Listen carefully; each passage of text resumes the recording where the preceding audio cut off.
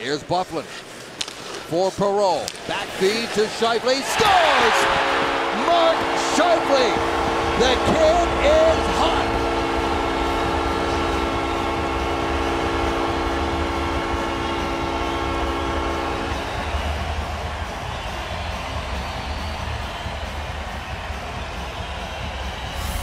Boy, has he got a confidence wave going right now. And Byfuglien comes out of the corner.